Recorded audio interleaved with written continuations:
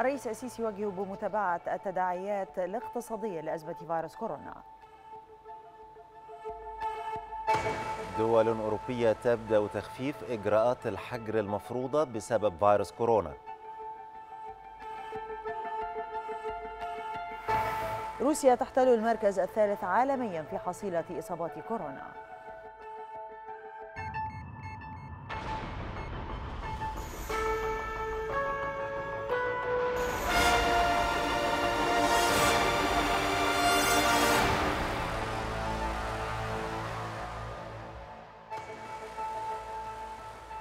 الثانية عشر ظهرا العاشرة في جرينتش نشرة إخبارية مفصلة. تأتيكم من القاهرة. أهلا بكم. وفي البداية نرجو من جميع المصريين أخذ الإجراءات الاحترازية ضد فيروس كورونا. احمي أهلك احمي بلدك.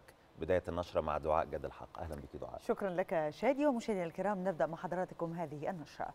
فقد وجه الرئيس عبد الفتاح السيسي بالمتابعة الدقيقة ودراسة الموقف بانتظام فيما يتعلق بالتداعيات الاقتصادية لفيروس كورونا للحفاظ على المسار الاقتصادي الآمن للدولة ولصون مكتسبات الإصلاح الاقتصادي.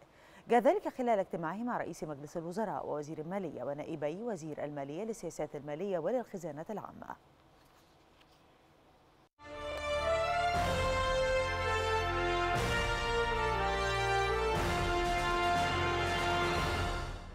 اجتمع السيد الرئيس عبد الفتاح السيسي مع السيد الدكتور مصطفى مدبولي رئيس مجلس الوزراء والسيد الدكتور محمد معيط وزير المالية بحضور السيد أحمد كوجك نائب وزير المالية للسياسات المالية والسيد الدكتور إيهاب أبو عيش نائب وزير المالية للخزانة العامة. صرح المتحدث الرسمي باسم رئاسة الجمهورية السفير بسام راضي بأن الاجتماع تناول متابعة مؤشرات الأداء المالي خلال الفترة من يوليو 2019 حتى نهاية أبريل 2020 وكذلك التقديرات المحدثة للعام المالي 2019-2020 في ضوء تداعيات أزمة فيروس كورونا المستجد. وقد وجه السيد الرئيس في هذا الإطار بالمتابعة الدقيقة ودراسة الموقف بانتظام فيما يتعلق بالتداعيات الاقتصادية لفيروس كورونا بهدف العمل على صون المكتسبات التي تحققت نتيجة الإصلاح الاقتصادي بما فيها ضمان استقرار السياسات المالية والحفاظ على المسار الاقتصادي الآمن للدولة. وفيما يتعلق بتقدير الموقف المحدث لإدارة الأوضاع المالية للدولة حتى نهاية العام المالي الجاري في الثلاثين من يونيو 2020 أشار السيد وزير المالية إلى صمود الوضع المالي والاقتصادي للدولة حتى الآن وقدرته على التعامل مع التحديات والتداعيات الاقتصادية لفيروس كورونا. وذلك على الرغم من انخفاض بعض إيرادات الدولة نتيجة تلك التداعيات وزيادة بعض النفقات المرتبطة بالتعامل مع الأزمة. أوضح المتحدث الرسمي أن الاجتماع شهد مراجعة الإجراءات التي تم اتخاذها على مستوى الحكومة للتعامل مع تداعيات أزمة كورونا خاصة فيما يتعلق بتلبية احتياجات قطاعات الدولة المختلفة. على رأسها القطاع الصحي والسلع الأساسية. إلى جانب المبادرات التي تم تنفيذها في إطار التوجيهات الرئاسية بالتعامل مع آثار أزمة كورونا لا سيما ما يتصل بالقروض المساندة لقطاعي السياحة والطيران المدني ودعم الصادرات وإتاحة مخصصات مالية إضافية إلى قطاع الصناعة.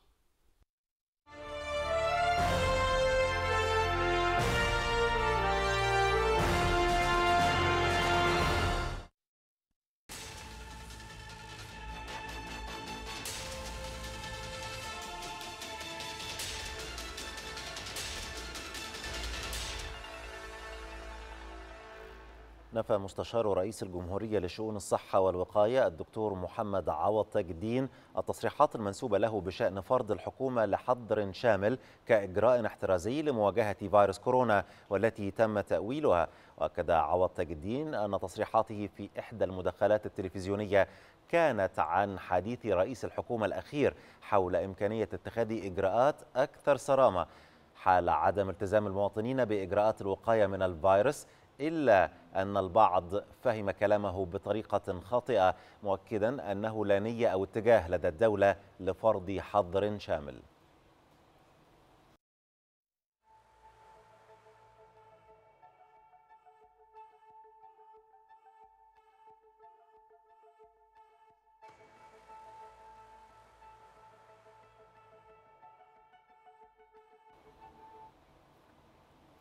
أعلنت وزارة الصحة عن تسجيل 436 حالة إيجابية جديدة لفيروس كورونا و11 حالة وفاة. ونوه خالد مجاهد المتحدث باسم وزارة الصحة إلى ارتفاع حالات الشفاء من مصابي فيروس كورونا إلى 2075 وعن خروجهم من مستشفيات العزل والحجر الصحي. فيما ارتفع عدد الحالات التي تحولت نتيجة تحاليلها من إيجابية إلى سلبية لفيروس كورونا إلى 2556 حالة.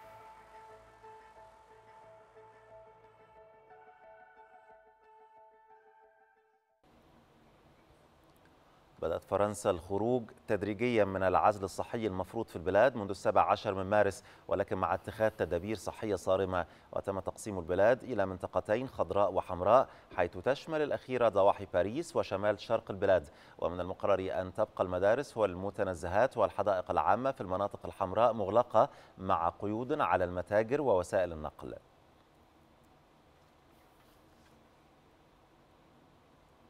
أما بلجيكا فقد بدأت في تطبيق المرحلة الثانية من استراتيجية الخروج من أزمة كورونا وذلك من خلال فتح المحلات التجارية مع الالتزام بشروط السلامة الصحية وضرورة ارتداء الكمامات. كما سمحت أيضا للعائلات باستقبال أربعة زوار فقط.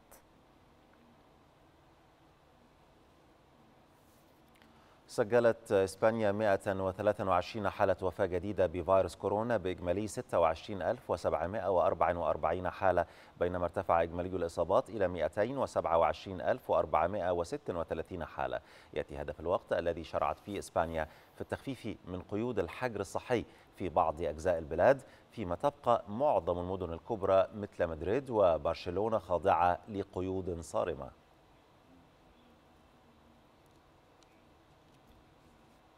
يعرض رئيس الوزراء البريطاني بوريس جونسون على البرلمان اليوم خطته لمواجهة فيروس كورونا خلال المرحلة المقبلة. وقال جونسون في خطاب له إن خطته تتضمن خمسة مراحل وأشار إلى أنه تم إقامة نظام إنذار جديد لتحديد مستوى انتشار فيروس كورونا. العودة للعمل لا تزال تشكل معضلة للحكومة البريطانية في ظل مساعي حذرة لتخفيف قيود العزل الصحي وتحريك الاقتصاد المقيد منذ أسابيع. رئيس الوزراء البريطاني بوريس جونسون أعلن أن الوقت لم يحن بعد لإلغاء إجراءات العزل العام في البلاد. موضحا أن الإغلاق بسبب فيروس كورونا سيبقى مفروضا حتى الأول من يونيو على أقل تقدير لكنه تحدث في المقابل عن خطط لبدء تخفيف بعض الإجراءات تدريجيا وكشف جونسون النقاب عن نظام تنبيه لتصنيف مستوى التهديد بفيروس كورونا في إنجلترا من خمس درجات حيث سيحكم نظام التنبيه الجديد على مدى سرعة تخفيف قيود الإغلاق. نقيم نظام إنذار يكون جديدا. وهذا المستوى الإنذار سيحدد ب R والذي يعني طبعا عدد الإصابات وهذا سيقول لنا ويطرح علينا كيف يمكن أن نواجه هذا في المستقبل وطبعا هناك خمسة ألوان من المستوى الأقل الأخضر إلى المستوى الأحمر الذي هو الأعلى وأعرب رئيس الوزراء البريطاني عن أمله أن يشهد الأول من يونيو عودة بعض التلاميذ إلى مدارسهم وإعادة فتح المتاجر لكنه حذر من أن هذا السيناريو لن يحدث إلا إذا دعمته معطيات علمية موثوقة وإذا نحن كوطن بدأنا نحقق ما طرحناه فإنه خلال أسابيع وخلال أشهر فيمكن بكل تأكيد أن نتقدم أكثر في الخطوة التالية. وربما في يونيو فإننا نعتقد بأننا يمكن أن نبدأ في المرحلة الأخرى في فتح المحلات. وأيضا حتى يعود الأطفال إلى المدارس. حزب العمال البريطاني المعارض وجه انتقادات لبيان جونسون وقال إنه أثار أسئلة أكثر مما أجاب. وقال زعيم الحزب المعارض أن جونسون يطلب فعليا من ملايين الأشخاص العودة إلى العمل دون خطة واضحة للسلامة أو توجيه واضح لكيفية الوصول إلى هناك دون استخدام وسائل النقل العام. قال وزير الخارجية البريطاني دومينيك راب إن متاجر التجزئة التي تبيع سلعا غير ضرورية لن تعود للعمل قبل شهر يونيو. وقال راب إن العودة إلى المدارس خاصة المدارس الابتدائية لن تبدأ حتى الأول من يونيو على الأقرب وبشروط.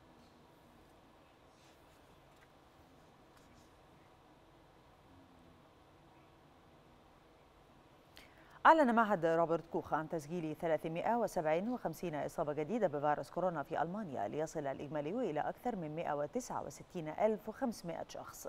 وأضاف المعهد أن عدد الوفيات في ألمانيا وصل إلى 7417 بعد تسجيل 22 وفاة جديدة بفيروس كورونا.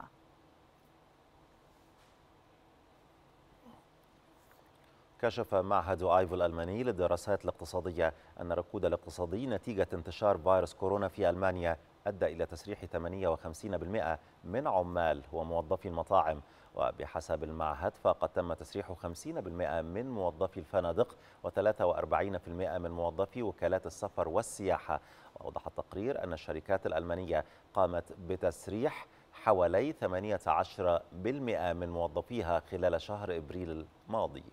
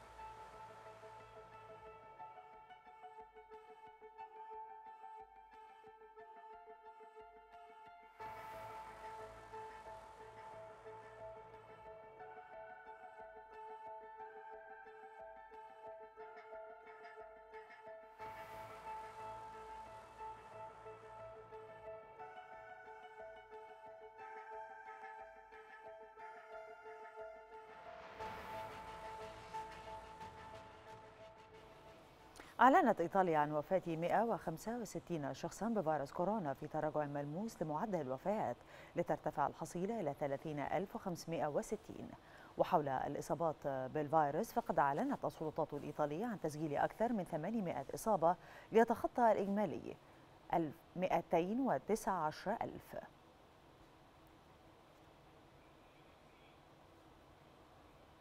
ارتفع عدد الحالات المؤكد إصابتها بفيروس كورونا في هولندا إلى 42581 حالة.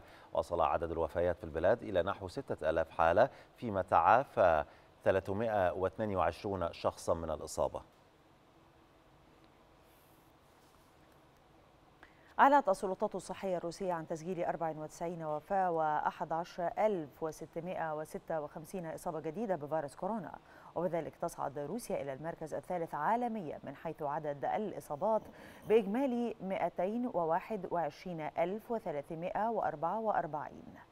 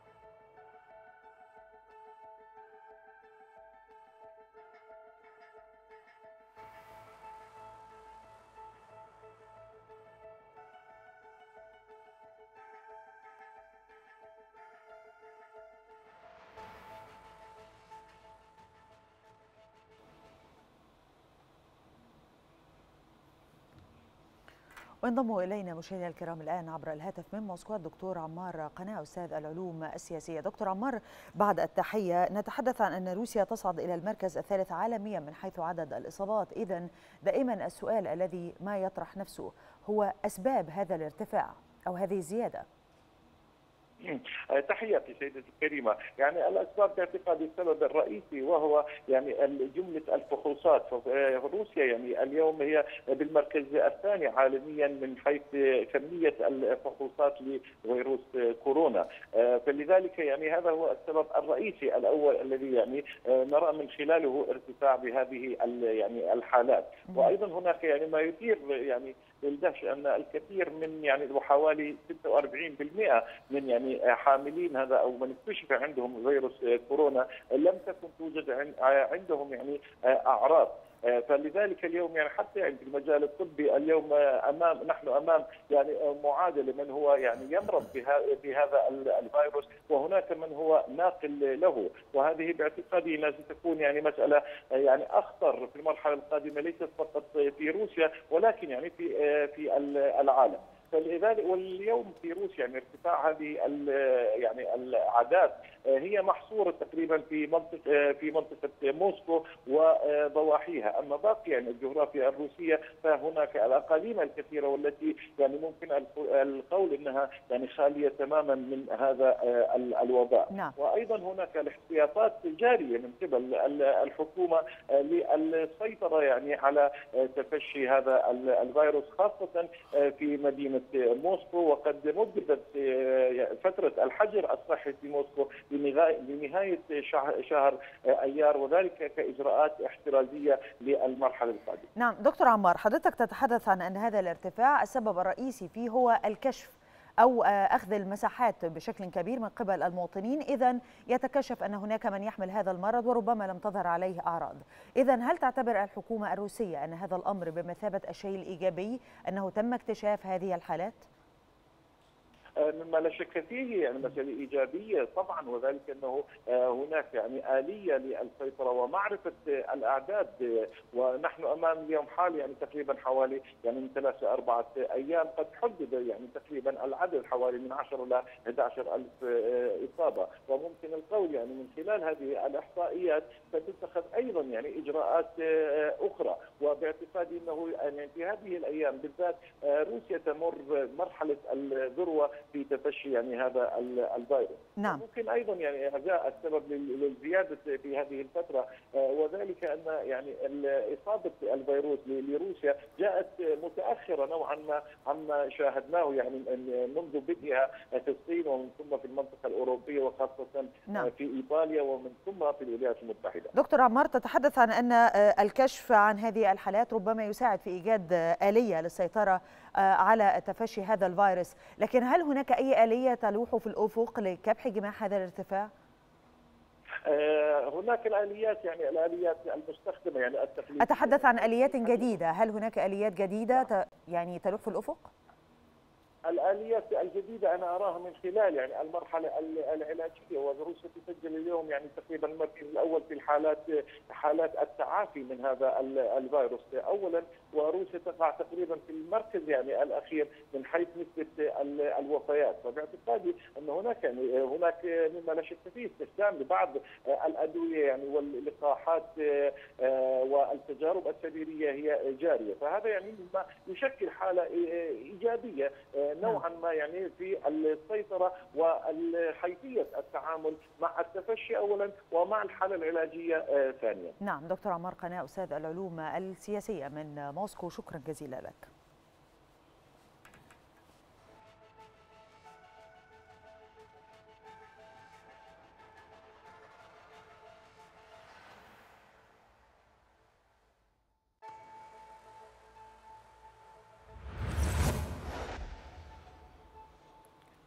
رفضت منظمة الصحة العالمية تقريرا صحفيا اتهمها بحجب معلومات بشأن فيروس كورونا المستجد بعد ضغوط من الصين وصفة التقرير بأنه ادعاءات كاذبة. وقالت المنظمة في بيانها إن التقرير الذي نشرته مجلة ألمانية يتحدث عن أن الرئيس الصيني طلب هاتفيا من مدير المنظمة حجب معلومات بشأن انتقال الفيروس من شخص لآخر وتأخير إعلان الجائحة. عار تماما عن الصحة وصفة التقرير بأنه يصرف الانتباه عن جهود المنظمة والمجتمع الدولي لإنهاء جائحة فيروس كورونا.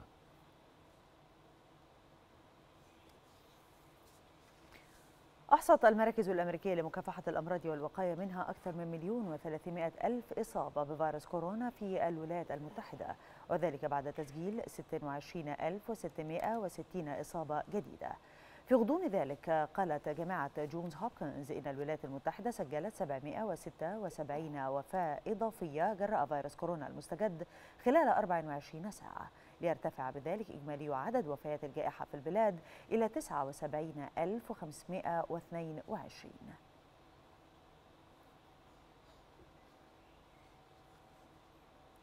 نفى البيت الأبيض تقارير وسائل إعلام أمريكية عن خضوع نائب الرئيس الأمريكي مايك بانس للحجر الصحي بعد تشخيص إصابة سكرتيره الصحفي بفيروس كورونا.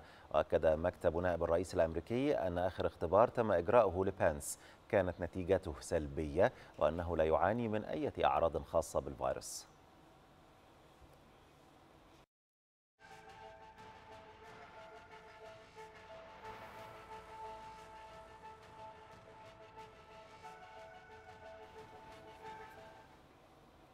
سجلت المكسيك 1562 حالة إصابة جديدة مؤكدة بفيروس كورونا ليرتفع إجمالي عدد حالات الإصابة في البلاد إلى أكثر من 35 ألف. وأعلنت وزارة الصحة في المكسيك عن تسجيل 112 حالة وفاة جديدة. ليرتفع أيضا عدد الوفيات إلى 3465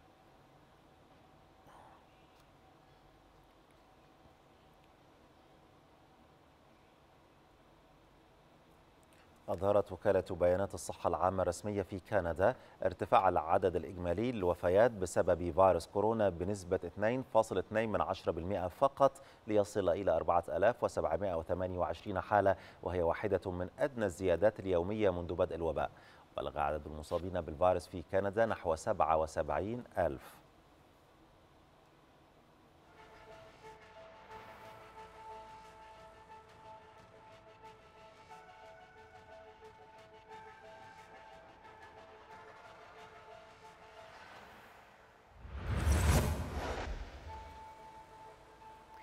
أعلنت وزارة الصحة العمانية عن تسجيل 174 حالة إصابة جديدة بمرض فيروس كورونا وبذلك يصبح العدد الكلي للحالات المسجلة في السلطنة 3573 فيما بلغ عدد الوفيات 17 حالة.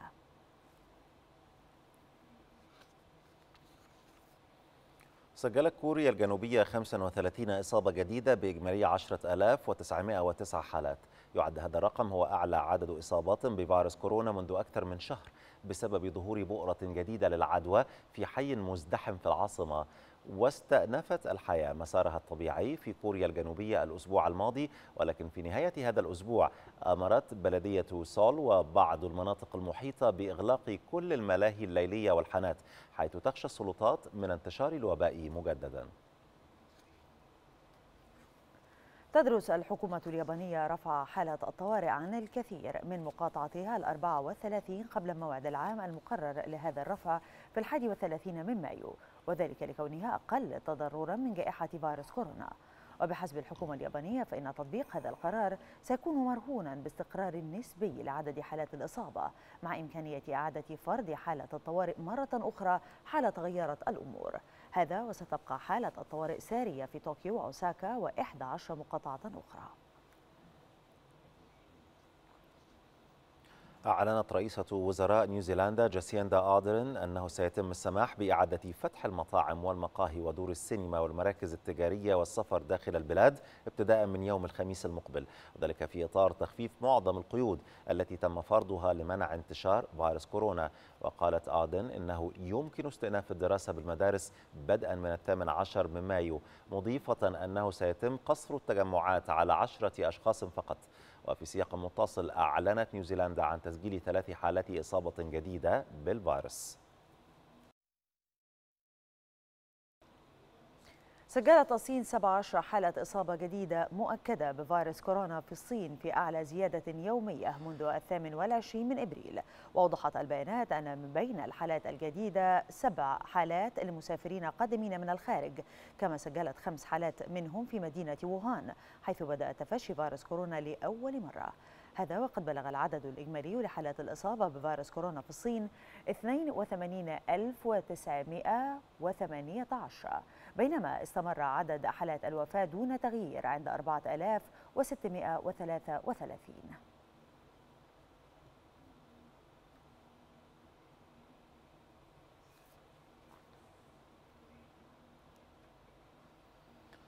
أعلنت السلطات الصينية افتتاح مدينة شنغهاي ديزني لاند الترفيهية بعد إغلاق دام لثلاثة أشهر بسبب تفشي فيروس كورونا. المزيد في هذا العرض.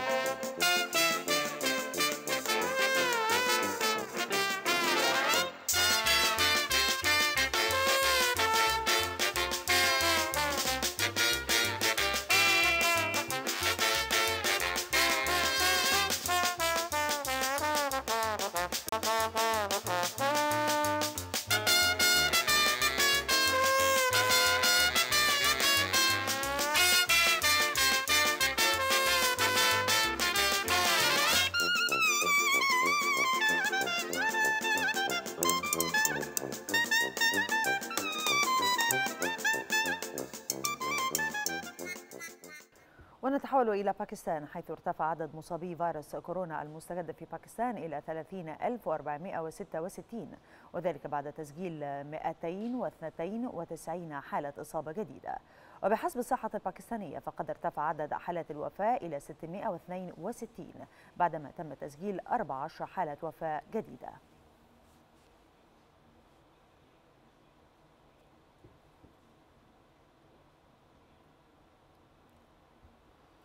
أعلنت الهند تسجيل 4213 إصابة جديدة بفيروس كورونا و97 حالة وفاة خلال 24 ساعة.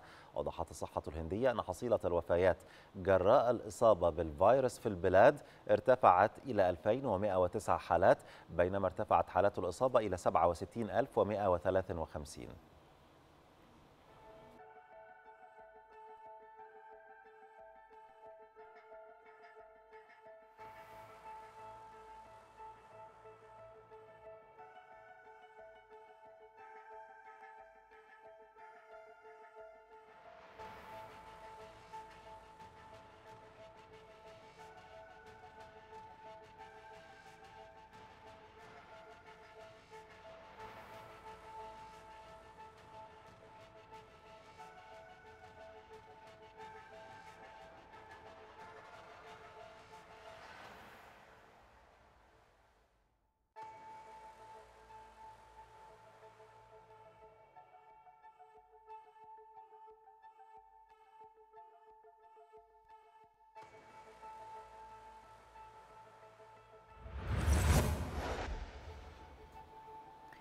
ذكرت وكالة رايترز أن منظمة الصحة العالمية علقت نشاط موظفيها في المناطق التي يسيطر عليها الحوثيون في اليمن.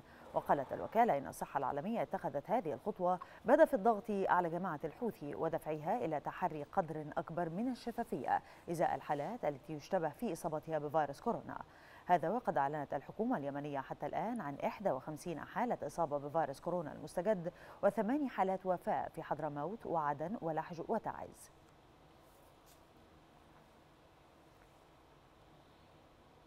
أكدت وزارة الصحة التونسية عدم تسجيل أي حالة إصابة بفيروس كورونا لأول مرة منذ مطلع مارس الماضي بينما تستعد الحكومة لمزيد من تخفيف القيود. وكانت تونس التي أعلنت أول إصابة بالفيروس في الثاني من شهر مارس الماضي قد سجلت حتى الآن 1032 حالة إصابة و45 حالة وفاة.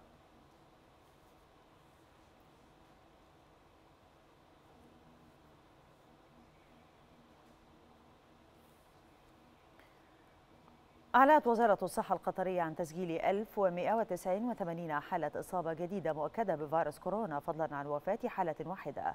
وبذلك وصل إجمالي عدد حالات الإصابة في قطر 22520 حالة فيما بلغ إجمالي عدد الوفيات 14 حالة.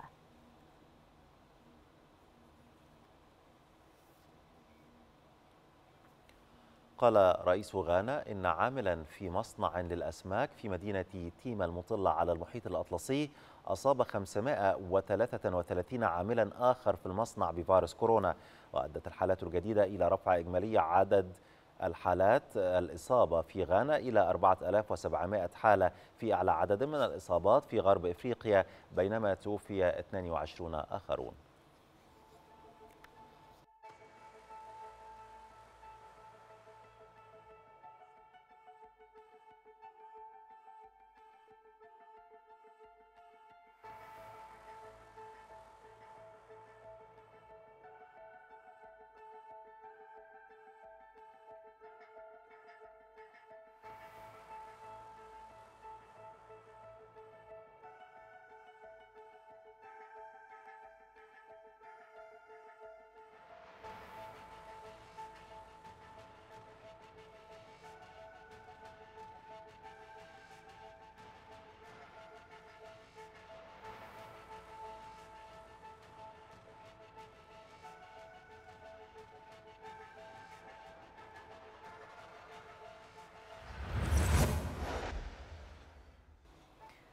أعلن الجيش الليبي عن مقتل قائد الفيلق الثاني المدعو محمد هنداوي والموالي لتركيا.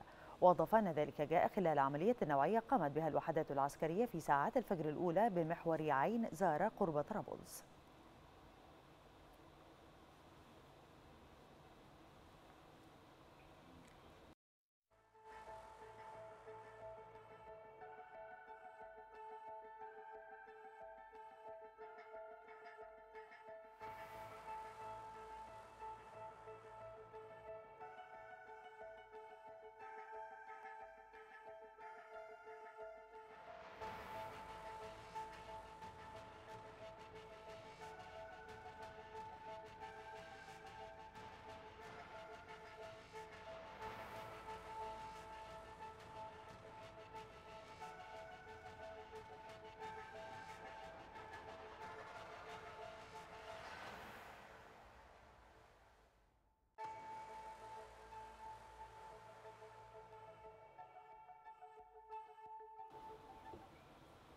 كلف رئيس الوزراء العراقي مصطفى الكاظمي وزير المالية علي عبد الأمير علاوي قائما بأعمال وزير النفط حتى شغل المنصب. ومن المقرر أن يجتمع علاوي بكبار المسؤولين بوزارة النفط ورئاسة الاجتماع الخاص بالتسعير.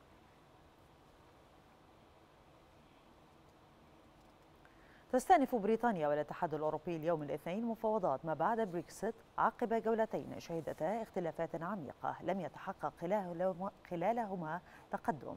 وتبدأ المفاوضات والتي تستمر لمدة أسبوعين بجلسة عامة عبر الفيديو يشارك فيها كبير مفوضي الاتحاد الأوروبي ونظيره البريطاني. ولا تزال بريطانيا جزءا من السوق الداخلي والجمارك بالاتحاد الأوروبي وتلتزم بقواعد الاتحاد الأوروبي وتدفع للميزانية.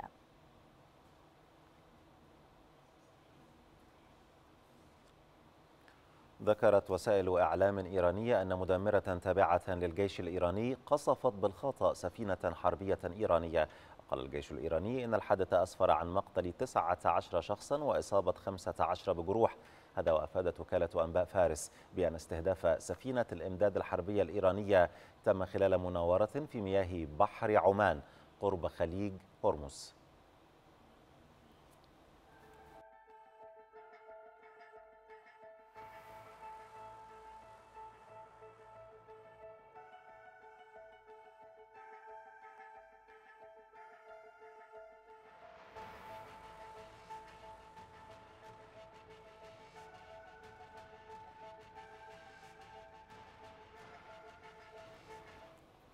انفجرت أربعة ألغام مزروعة على جوانب الطريق بشكل متعاقب في حي يقع شمال العاصمة الأفغانية كابول مما أسفر عن إصابة أربعة مدنيين بينهم طفل.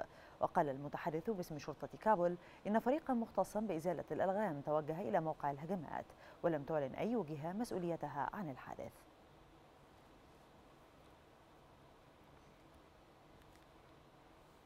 قتل ثلاثة عناصر من قوات الأمم المتحدة وأصيب ثلاثة آخرون في شمال مالي بعد انفجار لغم استهدف عربتهم العسكرية. وتم إرسال تعزيزات إلى المنطقة وتنشر الأمم المتحدة بعثة لحفظ السلام تضم 13 ألف جندي من عدة دول وهي منتشرة في أنحاء مالي.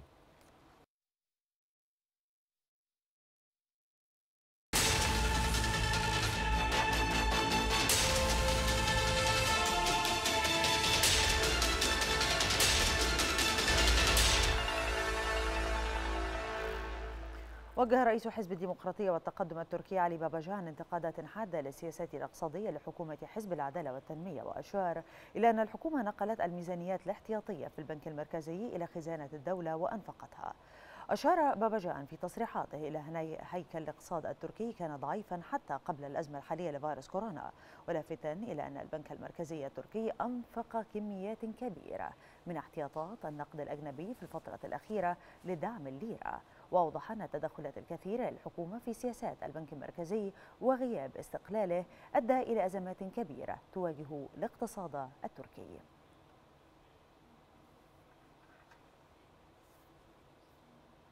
اتهمت العديد من وسائل الإعلام الدولية تركيا باستغلال جائحة كورونا لتبادل شحن الأسلحة والمعدات العسكرية مع عدة دول بحجة إيصال مساعدات طبية طارئة من قبل أنقرة.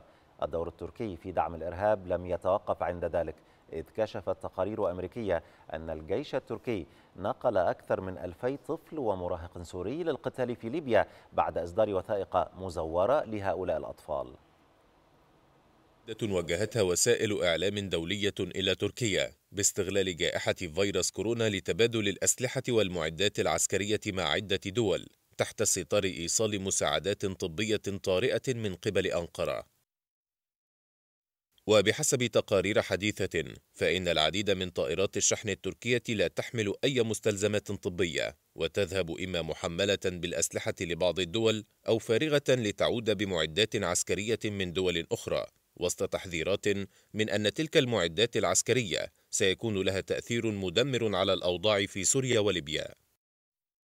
في تلك الأثناء قالت صحيفة ألمانية إن تركيا انتهكت في الأسابيع الماضية قرار حظر تصدير السلاح لليبيا بشكل متكرر إذ نقلت أسلحة ثقيلة لطرابلس لدعم الإرهابيين الذين يقاتلون في صفوفها هناك.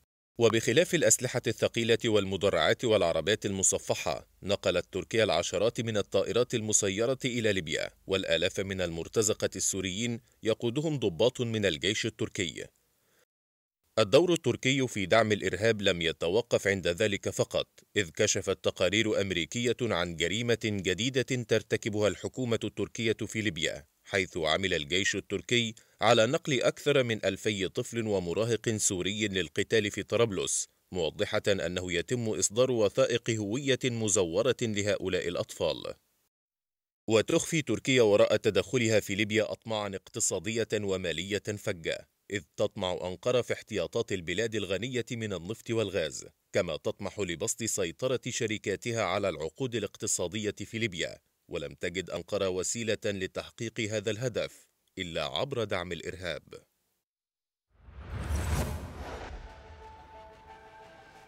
أعلنت النيابة العامة إثبات تقرير الطب الشرعي أن وفاة شادي حبشي بمحبسه جاء بسبب التسمم الكحولي وما أحدثه من تثبيط للجهاز العصبي المركزي وفشل تنفسي حاد. وقال بيان النيابة العامة إن الفحوصات أثبتت عدم وجود أي أثار إصابية ظاهرية حيوية حديثة به تشير إلى عنف جنائي واقع على المتوفى وأضافت أن التحقيقات مع اثنين من المحبوسين مع المتوفى أفادت بأنه قام بمزج كمية من الكحول الميثيلي بعبوة للمياه الغازية ليكون لها تأثير مسكر وهو ما أدى إلى وفاة شادي حبشي. هذا وقد أهابت النيابة العامة بالمواطنين بتحري الدقة فيما يتداول بالمواقع الإخبارية ومواقع التواصل الاجتماعي المختلفة من أخبار متعلقة بالتحقيقات التي تجريها.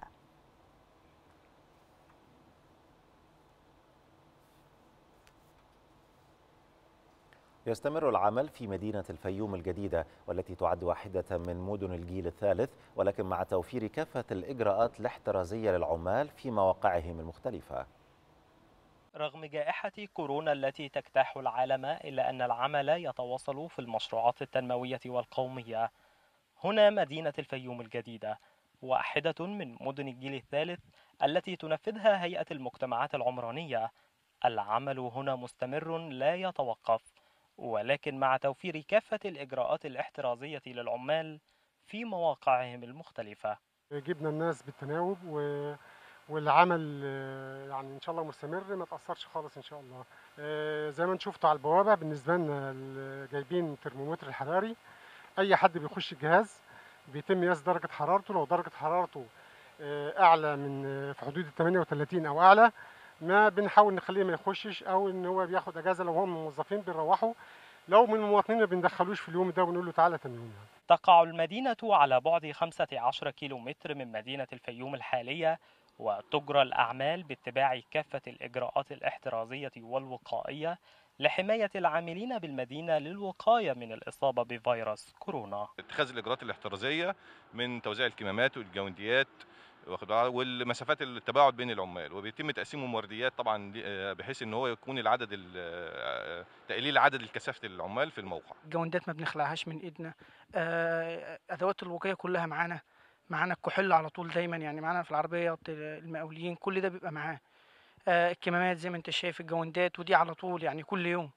فالدنيا الحمد لله ماشية كويسة يعني مش إن هو مثلا بنلبسها شوية وخلاص لأ هو اللي عامل ذات نفسه أو الصنايعي عرف الموضوع ده. الإجراءات اللي قايل عليها الدولة سيادتك إحنا عاملينها اللي هي من كمامه الجوانتي ال- الإجراءات الاحترازية كلها اللي قايل عليها الدولة إحنا بنعملها.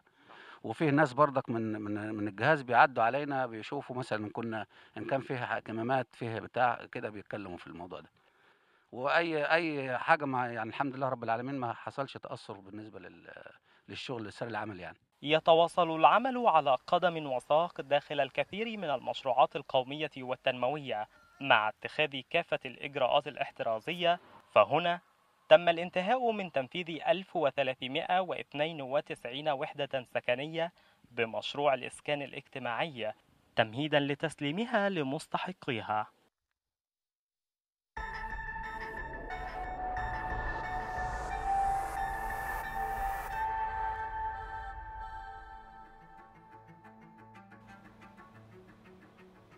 تابع رئيس مجلس الوزراء الدكتور مصطفى مدبولي الموقف الحالي لأعمال لجنة حصر تصرفات الأراضي وحل مشكلات المستثمرين بالساحل الشمالي الغربي. وذلك في اجتماع حضره الدكتور عاصم الجزار وزير الإسكان. وقد أكد رئيس الوزراء خلال الاجتماع على أهمية الأقتصادية على الأهمية الأقتصادية والتنموية التي تحظى بها منطقة الساحل الشمالي الغربي لما لها من دور في جذب عدد من الاستثمارات المحلية والأجنبية.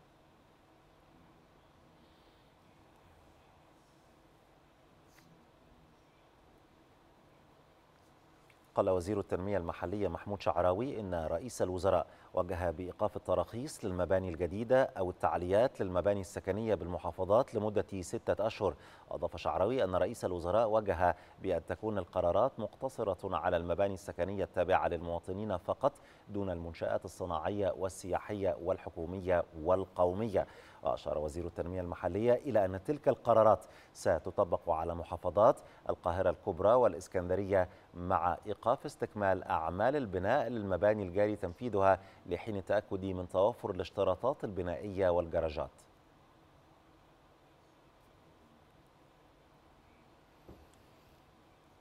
أصدرت وزارة التخطيط تقريرا بعنوان سبع سنوات بناء والذي يرصد المشروعات المنتهية والجارية بالدولة خلال الفترة من يوليو 2014 حتى يونيو 2021 وقالت وزيرة التخطيط هالة السعيد إن عدد المشروعات التي تم الانتهاء منها والجاري تنفيذها منذ يوليو 2014 وحتى يونيو 2021 حوالي 25 ألف مشروع بقيمة تبلغ أكثر من 4 تريليونات جنيه.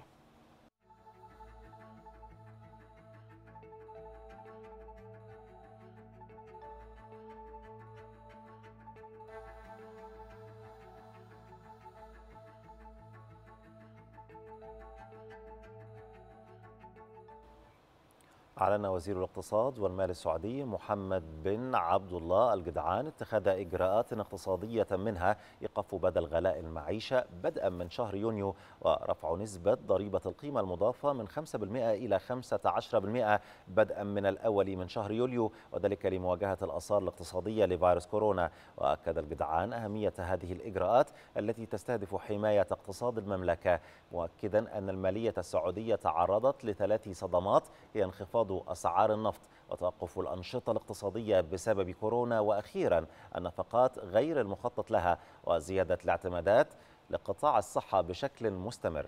أضاف وزير الاقتصاد السعودي أن الإجراءات التي تم اتخاذها مؤلمة ولكنها ضرورية للمحافظة على الاستقرار المالي والاقتصادي.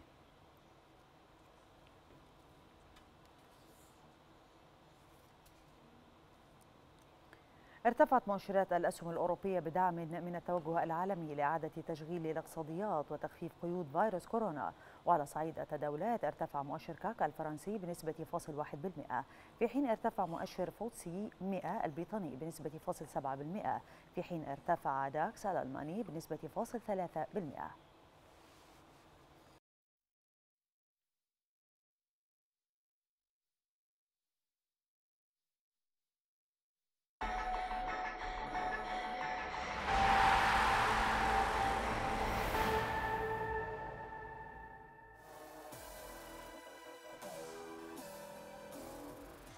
قال نائب رئيس رابطة لاعبي كرة القدم المحترفين في انجلترا إن اللاعبين يشعرون بالقلق على صحتهم مع قرار الدوري الإنجليزي باستئناف الموسم وسط جائحة كورونا. وترغب رابطة الدوري في استئناف الموسم في يونيو المقبل على ملاعب محايدة بمجرد أن تحصل على الضوء الأخضر من الحكومة. ولكن اللاعبين يشعرون بالقلق من نقل العدوى عند التنافس في رياضة يحدث فيها الكثير من التلامس والاحتكاك.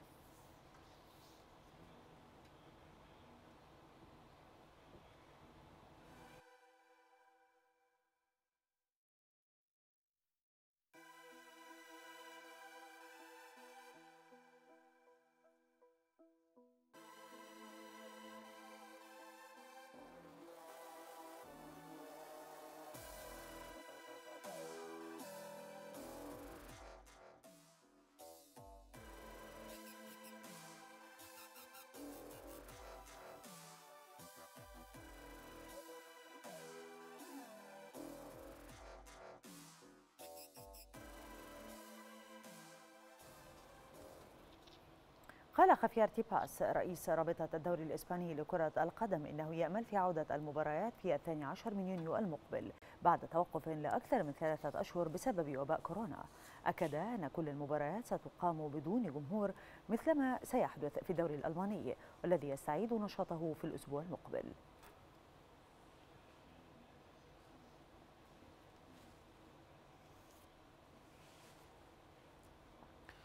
تعرضت عودة الدوري الألماني إلى انتكاسة مبكرة بعدما أعلن نادي دينامو دريسدن المنافس في دوري الدرجة الثانية عزل جميع اللاعبين بعد اكتشاف حالتي إصابة بفيروس كورونا. انتكاسة مبكرة لخطة ألمانيا لاستئناف منافسات كرة القدم في السادس عشر من مايو بعد وضع فريق دينامو دريسدن المنافس في دور الدرجة الثانية بأكمله في الحجر الصحي. النادي الألماني أعلن في موقعه على الإنترنت أن الفحوص التي خضع لها أفراد الفريق كشفت عن إصابتين بفيروس كورونا المستجد. وبعد تحليل الموقف قررت السلطات الصحية في دريسدن وضع الفريق بأكمله بما في ذلك الجهاز الفني والإداري في حجر صحي لمدة أسبوعين في منازلهم. وبسبب إجراءات الحجر لن يستطيع فريق دينامو دريسدن مواجهة هانوفر يوم الأحد المقبل في مباراته الأولى بعد استئناف دور الدرجة الثانية عقب التوقف الذي تسبب فيه تفشي فيروس كورونا. ومن جانبها أعلنت رابطة الدوري الألماني أن الهدف يبقى استكمال الموسم ووضع الدوري قواعد وإرشادات مفصلة للتدريبات والمباريات من أجل تقليص مخاطر العدوى بما في ذلك إجراء اختبارات للكشف عن الفيروس الفيروس لكن كيفية التعامل مع اكتشاف حالات إيجابية خارج سيطرة الدوري لأن القانون الألماني ينص على أن التعامل مع أي حالة في يد السلطات الصحية فقط. ألمانيا واحدة من الدول الأوروبية الكبيرة التي أعلنت أنها ستستأنف منافسات الدوري بدون جمهور لتراقب بطولات الدوري الأخرى عن كثب استئناف ألمانيا للمباريات. ختام النشرة تذكير بأهم ما ورد بها من أنباء. الرئيس السيسي يوجه بمتابعة التداعيات الاقتصادية لأزمة فيروس كورونا. دول أوروبية تبدأ تخفيف إجراءات الحجر المفروضة بسبب فيروس كورونا.